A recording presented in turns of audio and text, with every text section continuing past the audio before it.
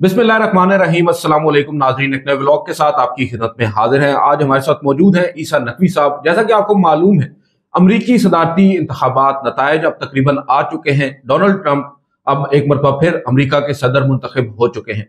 और अब Donald Trump के आने के बाद पाकिस्तान का उस पर क्या असर पड़ेगा? पाकिस्तान का जो सियासी माहौल है, उसमें क्या कोई तब्दीली रोनमा होगी? बहुत से अंदाजे लगाए जा रहे थे एक तवील अरसा से। मगर साथ साथ ये भी हम देख रहे थे जो कमला हारिस के हवाले से खबरें आ रही थी कि वो जीत जाएँगी, मगर वो तो नहीं जीती। एक बड़े मार्जिन के साथ on the contrary Donald Trump साहब जीत चुके हैं।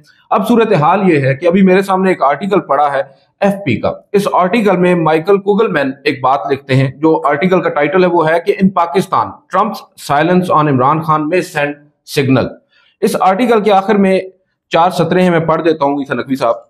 Trump silence on Khan during his campaign shows that the former prime minister and Pakistan more broadly likely won't be high on his list of priorities अब ये वो बात है जो हमारे मुल्क में इस वक्त नहीं की जा रही। हमारे मुल्क में इस वक्त ये कहा जा रहा है कि डोनाल्ड ट्रंप के आने के बाद जो पाकिस्तान की सियासी एक जमात है, पाकिस्तान तहरीक इंसाफ या ओवरऑल पाकिस्तान का जो सियासी निज़ाम है, इसमें एक बहुत बड़ी तब्दीली रोनुमा होगी। यहाँ पर ये जो साहब हैं, माइकल कूगलमैन साहब, ये एक मुख्तलिफ़ बात कर रहे हैं। आप इसको कैसे देखते हैं? और ये मुझे बताइएगा कि अब जो इंतबी नतज हमारे सामने आए हैं 270 का इंसा क्रॉस कर लिया है डोनाल्ड ट्रंप साहब ने। इसके बाद आप क्या देख रहे हैं कि क्या पाकिस्तान के हवाले से कोई फौरी तौर पर फैसला होने जा रहा है या इसमें ऑब्वियसली वक्त लगेगा? आपने स्पेन में बुल फाइटिंग देखी है? हाँ जी। वहाँ का वो नेशनल इवेंट होता है और बड़ा वहाँ पे वो जो बुल है ना वो आपकी तरफ़ कब अट्रैक्ट होता है? जी ये आपने जिस रंग के कपड़े पहने हुए हैं ना जब आप इस रंग के कपड़े पहन के सामने खड़े होते हैं ना तो वो बुल आपकी तरफ़ आता है। और फिर वो आपको निशाना बनाता है आपको टक्कर मारता है।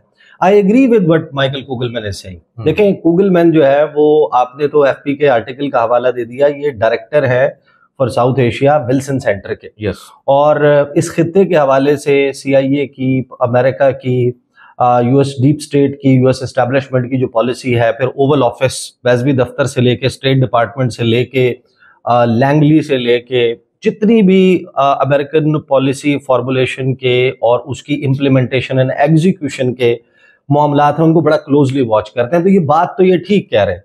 अगर पाकिस्तान हाई ऑन प्रायोरिटीज हो तो Pakistan should have made to the presidential debate yes उसमें आना चाहिए था ना 2020 का हवाला दे देता हूँ। डोनाल्ड ट्रंप और जो बाइडन के दरमियान सदारती मुबासा हो रहा था अमेजोन क्योंकि वो मामला स्टेम कहाँ से करता है?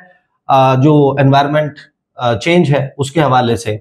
एनवायरमेंट एक बड़ा सब्जेक्ट है जिसमें डेमोक्रेटिक पार्टी और रिपब्लिकन्स के दरमियान इख्तलाफ मौजूद है। बहस हो रही है कि अमेजोन जो दुनिया का सबसे बड़ा जंगल है, तकरीबन अड़सठ लाख मुरबा मील के ऊपर फैला हुआ दुनिया के साउथ अमेरिका के आप समझें कि तकरीबन आठ या नौ ममालिक में फैला हुआ। उसकी डिफॉरेस्ट्रेशन के ऊपर बहस चल रही है और बहस निकलकर जायर बॉल सनेरो और लूला डिसल्वा के दरमियान फंस जाती है। उन दोनों के दरमियान और अरबों डॉलर मुँह पे मारना डिफॉरेस्ट्रेशन रुकवाना, ये कहाँ से आता है सब्जेक्ट जो अब आप इनकी कैंपेन को और कैंपेन में नारों को, बातों को, वादों को देखते हैं तो ज़ाहिर है कि डोनाल्ड ट्रंप की जो प्रायोरिटीज हैं उसमें सबसे पहले तो इमिग्रेशन इलीगल इमिग्रेशन मैक्सिको का बॉर्डर और ये तमाम मामला हैं। फिर डाउन द लाइन फिर चीज़ें आती जाती है लेकिन मसला क्या है? मसला ये है कि यहाँ पर जो सुर्ख शर्ट है ना वो सुर्ख शर्ट नमोदार होना बरामद होना शुरू हो चुकी है। सही है।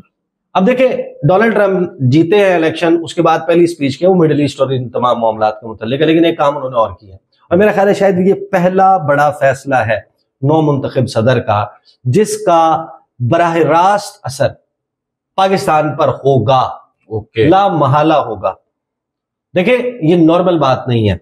डोनाल्ड ट्रंप जीतने के बाद जो अपनी आगाज़ में तकरीर और ये फ्लोरिडा मारालागो रिजॉर्ट उनका जहाँ पे जो basically he stems he has his roots there वो अपनी तकरीर में जो गुफ्तगु फरमाते हैं जो बात करते हैं मिडल ईस्ट में कोई नई जंग शुरू नहीं करूँगा मुसलमानों के हवाले से ये ये तो हमें उसकी पॉस्चरिंग पता है। He is an anti war president वही था जिसने पोम्पियो जालम खलीलजाद और over a period of time ज़ोर लगा के कतर में प्रोसेस शुरू करवा के तालिबान का जो डायलॉग है वो स्टार्ट करवा के इनखला का सारा स्टेज उसने सेट किया था। हम्म। बाइडन ने तो आके सिर्फ़ अनाउंसमेंट करनी पड़ी क्योंकि सारा मामला हो चुका था। फ्रैंक मैकेंजी जो मर्ज़ी करता रहे जनरल वो जो जो भी कहता रहे जो यूएस एस्टैब्लिशमेंट है उसका जो भी व्यू पॉइंट हो but Biden had to take a step towards that direction इस वजह से देखें जो जो बाइडन का मामला था ना वो डिफरेंट था। अब डोनाल्ड ट्रंप ने आने के बाद जो पहला डिसीज़न लिया उसका इम्पैक्ट क्यों होगा पाकिस्तान पे? उसने ये तमाम बातें बताई फिर उसने एक बात और कही। उसने कहा कि Elon Musk is the new superstar of Republican Party. Yes और उसने जिस तरीके से हम we are talking about the richest man दुनिया का अमीर तरीन शख्स। साढ़े सात करोड़ डॉलर से ज़्यादा उसने जो बाइडन की कैंपेन में चंदा दिया ये वहाँ पे बड़ा मैटर करता है। उसके बाद डोनाल्ड ट्रंप की जीत मुमकिन कैसे हुई है? स्विंग स्टेट्स स्विंग स्टेट्स में कैंपेन कौन चला रहा था? इलॉन मस्क इलॉन मस्क पैसे कौन दे रहा था इलॉन मस्क उसके बाद जो ट्विटर के प्लेटफॉर्म पे डोनाल्ड ट्रंप की वापसी है और डोनाल्ड ट्रंप को स्पेस में होस्ट किया है इलॉन मस्क ने एक के बाद एक स्टेप्स गिनते जाएँ। इलॉन मस्क लड़ गया जाके डेमोक्रेटिक पार्टी को। Republican hmm. की जीत में इस वक्त जिस शख्स ने सबसे कलीदी किरदार अदा किया वो इलॉन मस्क है जिसका पैसा जिसकी ऐप जिसके बिजनेसेस जिसके लिंक्स जिसका इंटरनेशनल और लोकल क्लाउड सारा इस्तेमाल हुआ डोनाल्ड ट्रंप की जीत में। अब how I am connecting this to Pakistan देखें उसने कहा है कि मैं इसको इंदिया दिया है कि मैं इसको काबीना में लेने जा रहा हूँ। अब if Elon Musk makes it to Trump's cabinet आप सोचें कि उसका पूरी दुनिया में मार्केट है ना वो काम करता है वो कह रहे कि हम एक्स की बात कर रहे हैं। एक्स फॉर्मर ट्विटर यस तो उसके लिए जो दुनिया की सबसे बड़ी मार्केट हो सकती है कौन सी हो सकती है? चाइना और इंडिया, इंडिया। आबादी के लिहाज से ना गैजेट्स के हिसाब से कि कितनी आबादी है कितने लोगों के पास मोबाइल फ़ोन है कितने लोग पोटेंशियल यूज़र हो सकते हैं और कितने इस वक्त मौजूद है। इसी बुनियाद पर उसने प्रायोरिटाइज करना है अपने जाति मामले को। सही तो चाइना के ऊपर चाइना में तो पाबंदी है। और वो तो ठीक होनी भी नहीं है हम्म। लेकिन जब आप डाउन द लाइन आते हैं चाइना को तो वो कहते हैं कि यार ये तो अथॉरिटेरियन रिजीम है जमहूरियतों में तो कोई मसला नहीं होना चाहिए दुनिया की में आबादी के लिहाज से पाकिस्तान पांचवा बड़ा मुल्क है हम्म। और पोटेंशियल यूज़र्स के एतबार से टॉप कैटेगरी में फॉल करने वाला मुल्क है हम्म। और वहाँ पर इलॉन मस्क जिसको डोनाल्ड ट्रंप ये कह रहा है कि he is the new star of Republican Party और ही इज़ द हीरो जिसने मुझे superstar he is the superstar जिसने मुझे सदर बनने में मदद दी है। और ये इंदिया दे रहा है कि मैं उसको अपनी काबीना में लूँगा। अब आप मुझे एक बात बताएँ कि वो शख्स सुर्ख कपड़ा लेके डोनाल्ड ट्रंप के सामने ये सवाल नहीं रखेगा कि दुनिया की पांचवी बड़ी आबादी का मुल्क वहाँ पर मेरी एप्लीकेशन बैन है। जब ये सवाल सामने आएगा कि वो बैन है आप सोचें कि वो ये सवाल नहीं होगा कि बैन है क्यों? और डोनाल्ड ट्रंप ये सवाल क्यों नहीं पूछेगा? क्योंकि उसके ऊपर भी तो पाबंदी लगी है। हाँ। जी देखिए उसके उसके दिल से करीब तरीन मामला में से एक मामला है सोशल मीडिया। Yes. कि जो उसका एक्सेस बैन किया गया था उसके अकाउंट्स सस्पेंड किए गए थे उसके ऊपर बात करने पे पाबंदी लगी थी वो उस कर्ब और उस तकलीफ़ से गुजरा है सेंसरशिप के बैन से गुजरा हुआ हम्म, हम्म।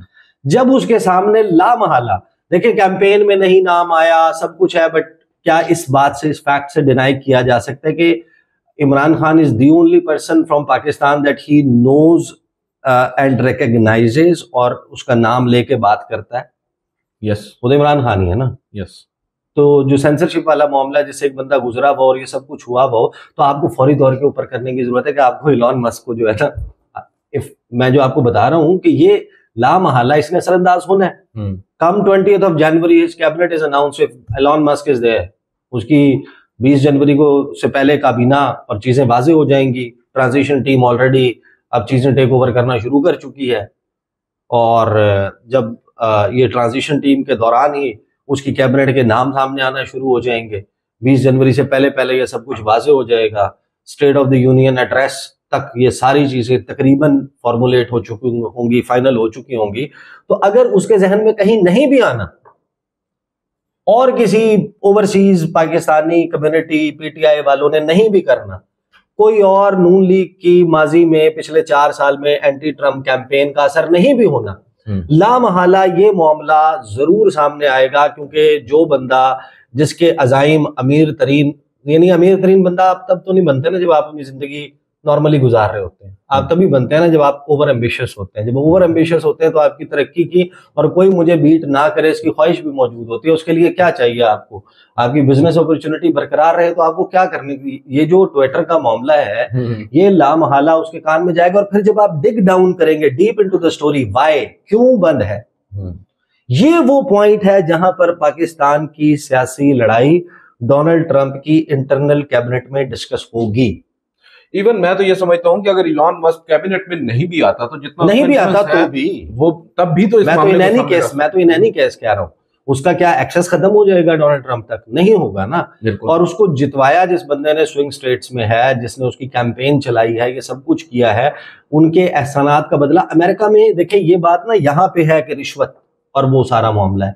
वहाँ पर जो you scratch my back no no no no no वहाँ पे जो फंड है ना पॉलिटिकल पार्टी को फंड करना वो चलती ही उस पे है। यस अमेरिका का निज़ाम ही मुख्तलिफ़ है ये थोड़ी है कि ये पैसे ले रहे हो। वहाँ तो पूरी सियासत की बुनियाद ही इस बात पे है। और ये बहुत नॉर्मल है कि कोई भी शख्स वो जितना पार्टी की कैंपेन में डोनेट करता है पैसा ले वो जो हेंस कैचअप वाली खातून है ना वो जॉन कैरी की बेगम है। हम्म, उन्होंने 500 मिलियन डॉलर मेरा ख्याल है कि लगाया था उस कैंपेन में जब वो बट जॉन कैरी बना भी नहीं प्रेसिडेंशियल कैंडिडेट। हिलरी क्लिंटन बन गई थी। He couldn't make it but वो जो पैसा है वो वहाँ पर बड़े बड़े बिजनेसमैन लगाते हैं और फिर उसके रिटर्न में। इट्स वेरी नॉर्मल के यहाँ पर तो ये एक टैबू है ना कि आपने अपने क्रोनीज को नवाज़ दिया वो कर दिया। अमेरिकन डेमोक्रेसी बहुत मेच्योर है बहुत ग्रोन अप है। वहाँ पर ये सारी चीज़ें पार्ट एंड पार्सल ऑफ़ वो होती हैं कि हमने इसका, इसके ऊपर वो कर दिया it's for very normal for them कि एक बंदा है, उसने कैंपेन किया, उसने पैसा लगाया, उसने उसको जीतने में मदद दी है, उस पार्टी का करता धरता है, चाहे वो बिज़नेस ग्रुप है, कुछ है, उसको आगे कहीं पर कोई कॉन्ट्रैक्ट्स मिलते हैं, चीज़ें मिलती हैं, मशीर का उहदा मिल जाता है एडवाइजरी काउंसिल में आ जाता है, किसी स्टेट में आ जाता है फ्यूचर में कहीं पर गवर्नर बना दिया जाता है, कहीं पर उसके कहने के ऊपर एम्बेसडर किसी को भेज दिया जाता है एडमिनिस्ट्रेशन में कहीं कोई उहदा क्रिएट करके, ये तो बड़ा नॉर्मल है वहाँ पे। तो अब एलॉन मस्क फैक्टर जो है, वो इज़ द रेड शर्ट जो अभी आपने पहनी हुई है जो बुल के सामने आपने खुद खड़ी की हुई है अब या तो आपको डिसाइड करना पड़ेगा कि आपने ये वीपीएन एक्सेस और ये सारा इसी तरीके से कायम रखना है ट्विटर को ऐसे ही रखना है क्योंकि लामहला ये डिबेट जिस दिन वहाँ पर इनर सर्कल में पहुंचेगी होगी या वो जब पावर में आ जाएगा एलॉन मस्क जो कि आ चुका है ऑलरेडी यस यानी कि one of the already by the virtue of being the richest इतना पैसा होने वाले होने की वजह से एक ऑलरेडी आपका एक इंटरनेशनल हम्म। क्लाउड और इन्फ्लुएंस होता है।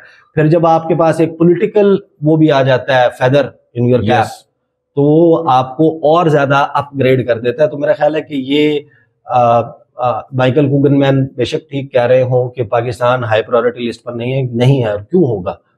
पैसे मांगने वाले तो कभी भी प्रायोरिटी लिस्ट पर नहीं होते ना। पैसे देने वाले या उनके साथ चलने वाले आप यूक्रेन में या तो आप अमेरिका के उसके ऊपर कर रहे होते पाकिस्तान इस वक्त अफ़गानिस्तान का आ, मसला अभी ना हल हुआ होता यानी कि इनखला ना हुआ होता अमेरिकन प्रेजेंस मौजूद होती इमीडिएट रिक्वायरमेंट फिर तो थी पाकिस्तान से इंगेज करने की तो प्रायोरिटी लिस्ट में तो डाउन है। डोनाल्ड ट्रंप के कॉन्सेप्ट से अगर आप देखें उसकी प्लेट में बहुत कुछ है। अपने बड़े अंदर उसने पत्थर रखे हुए हैं जेब में कि मेरे साथ गुजश्ता चार साल में ये तो हुआ है। यहाँ पे मुझे जेल भेजने की कोशिश थी यहाँ पे मुझे कम्युनिटी सर्विस में डाल दिया इधर कन्विक्शन थी ये केस था ये प्रोसिक्यूशन थी ये सात जनवरी कैपिटल हिल के मामले पे ये सारा कुछ हुआ। तो वो लिस्ट में कहीं नहीं होगा। लेकिन जो उसके इर्द गिर्द लोग हैं जो ये सारा कुछ कर रहे हैं तो वो लामहला ये मामला जो है डिस्कस होगा। और जिस दिन ये डिस्कस होगा आई एम टेलिंग यू कि एक इम्पैक्ट जो है वो एक और फैक्टर भी है जलम खलीलजाद आप अक्सर ज़िक्र करते हैं। तो बहुत सारी चीज़ें हैं। अब मैं अगली वीडियो में इस पर बात कर लेते हैं। बहरहाल आज की इस वीडियो से नाजीन इतना ही। हमने अब देखा है जो ईसा नकवी साहब हैं उन्होंने बड़ी खूबसूरती के साथ ये तो बयान किया है कि डाउन द लाइन जाहिरी बात है पाकिस्तान के हवाले से कुछ फैसले भी हो सकते हैं और जो पाकिस्तान में तब्दीली और फैसले मैं बता देता हूँ। मैं मैं थोड़ा सा आपको एक्सप्लेन भी कर देता हूँ। जो मैं ये कह रहा हूँ ना कि फैसले हो सकते हैं। फॉर एग्ज़ाम्पल जो बाइडन की एडमिनिस्ट्रेशन है उसके सामने 2024 में दो फ्लॉड इलेक्शन आए हम्म। एक आया 8 फरवरी 2024 का पाकिस्तान का इलेक्शन और एक आया अगस्त 28 वेनेजुएला का इलेक्शन हम्म।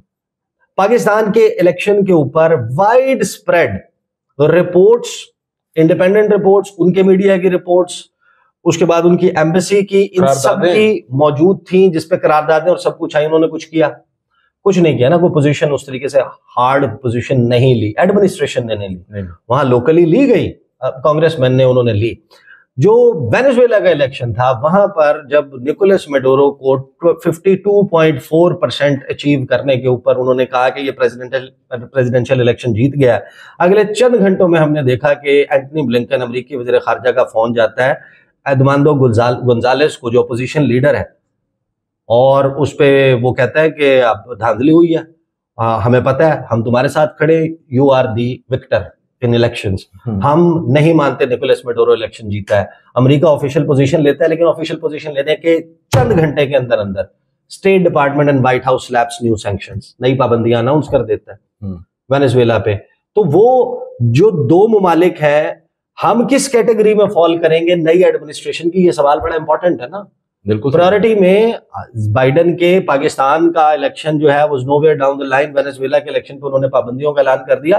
वेनेजुएला की तो रीढ़ की हड्डी थी ना वो तो ये कर सकते थे। 2013 से वो इसको फाइट आउट करते हम्म। आ रहे हैं। दुनिया का थ्री बिलियन से ज़्यादा crude oil barrel three billion barrel से ज़्यादा क्रूड ऑयल के रिज़र्व के साथ पूरी दुनिया का सबसे बड़ा जखीरा रखने वाला मुल्क है सऊदी अरब से भी ज़्यादा। सऊदी अरब सिर्फ़ एक्सपोर्टर सबसे बड़ा है। दुनिया के नॉन क्रूड ऑयल रिजर्व्स का 17 परसेंट इस वक्त वेनेजुएला में है। वो अमरीकी पाबंदियाँ सह सकता है। हमारा तो केकड़ा भी नहीं निकला। तो हम कहा से सह सकेंगे? तो ये चीज़ें है ना इनको इनको दे they'll have to do something about चलें देखते हैं डाउन द लाइन मजीद क्या होता है और कब होता है। आज की इस वीडियो से इतना ही। मुझे और ईसा नकवी साहब को इजाज़त दीजिए। अल्लाह